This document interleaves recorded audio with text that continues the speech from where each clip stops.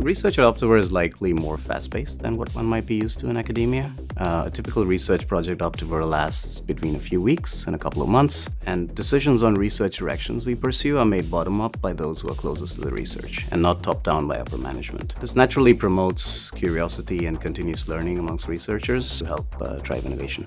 Open and direct feedback is a very important part of the culture at Optiver. For any given research project, we have backtest results on historical data that uh, estimate the, the expected uh, long-term profit and loss of, uh, of, of the work. In terms of resources, we have access to a cloud compute cluster. We also collaborate and work together with a great team of engineers to ensure we optimally utilize our resources. There is a lot of tooling and a lot of frameworks to collaboratively work on projects together. It really is a closed feedback loop in one cohesive unit.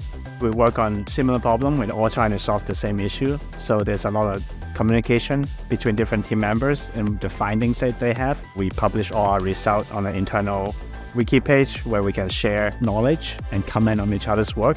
There is no way to quantify what you need to solve the problem. Like you have to invent the hammer to knock on the problem and sort of like how you solve it and everything.